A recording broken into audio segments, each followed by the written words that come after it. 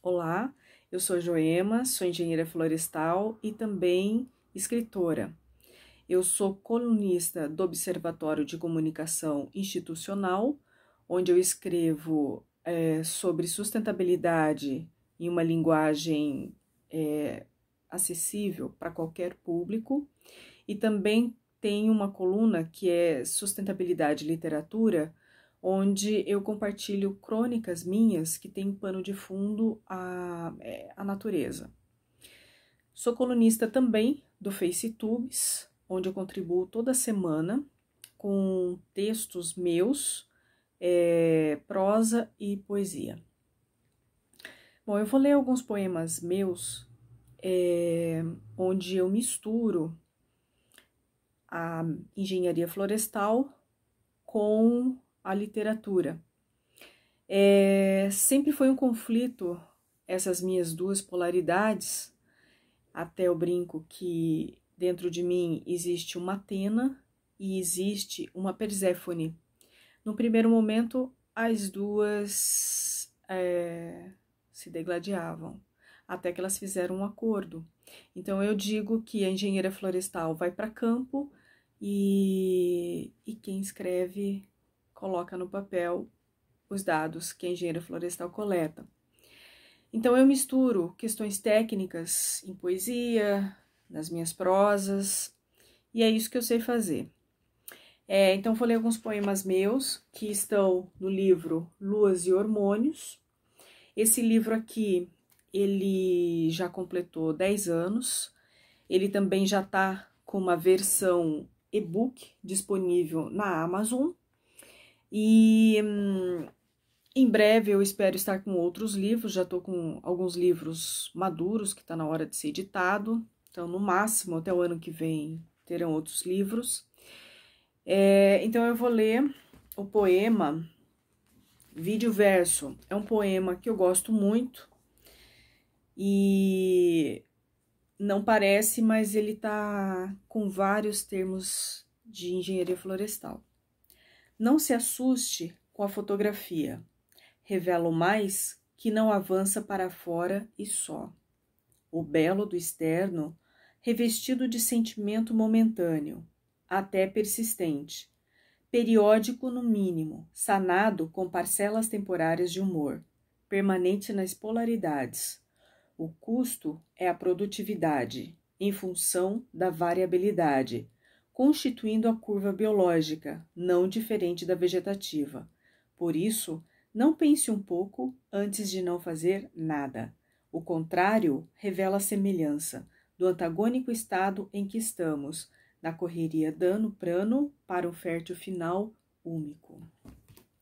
Vou ler mais um poema que também não parece, mas está cheio de termos técnicos da engenharia florestal. O título já é uma fórmula, uma fórmula de estatística. Caldo integral.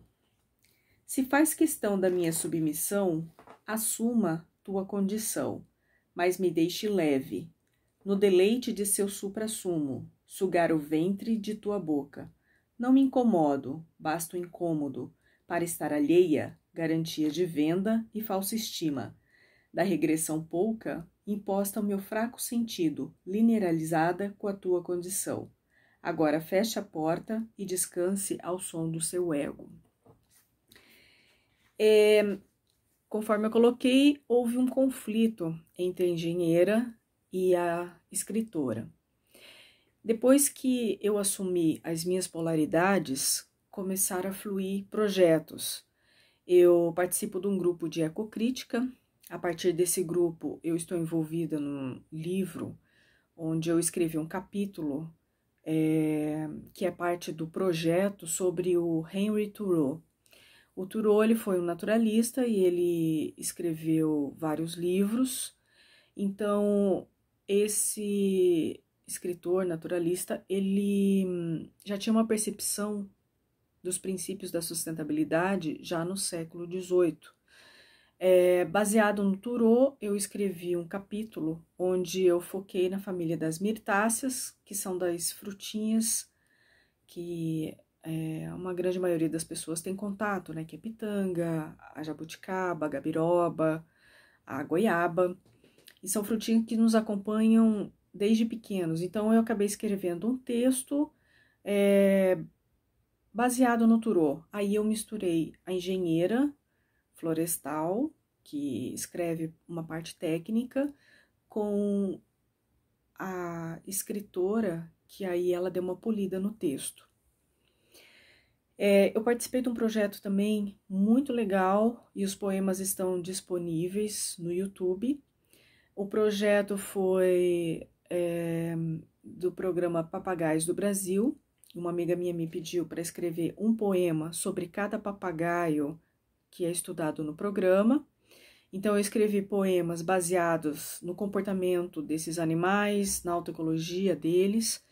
E o presente que eu ganhei foi que esses poemas foram lidos por crianças e foram feitos vídeos. E esses vídeos estão disponíveis no YouTube do programa Papagaios do Brasil.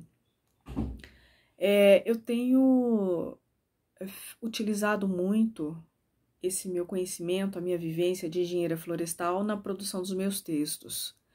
No FaceTubes existem várias crônicas que eu coloco filosofia, eu coloco é, paisagens, conhecimentos mesmo técnicos de uma forma suave, literária.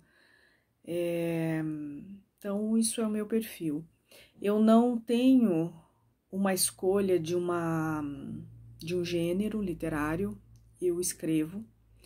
Eu não, não consigo me definir em um gênero literário, porque isso me enjoa, eu preciso é, avançar em outras possibilidades, eu preciso inovar meus textos, mas eu sempre utilizo esse meu conhecimento da engenharia florestal para a produção da minha dos meus textos literários. Então, essa é a minha cara na literatura.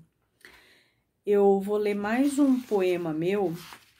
Esse poema é, já foi bem publicado. Deixa eu localizar ele aqui, eu perdi.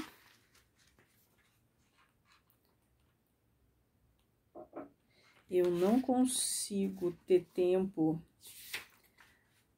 para memorizar meus poemas, então eu tenho que ler. Então vamos lá. É o Kairós. Rio de meandros, rio do equilíbrio, da sabedoria, daquilo que envolve o cosmo, que respeita a dança, que envolve e resolve o corpo, biológico, mental, o masculino e o feminino, a essência individual. Rio de meandros, processo que deságua a consciência de ser de cada extremidade. A base pedra, formando lodo, para atingir um terreno palpável, biodiverso, rio do processo que deságua na produção da alma e em si. Então é mais ou menos isso que eu faço. É, textos meus estão então disponíveis no FaceTubes, é, no Observatório de Comunicação Institucional e eu também participei de várias coletâneas nacionais e internacionais, dentre elas Mulherio das Letras de Portugal e também Mulherio da Lua. Então é um prazer poder fazer parte desse grupo e agradeço a oportunidade de estar aqui nesse terceiro encontro do Mulherio de Portugal e desejo sucesso a todas.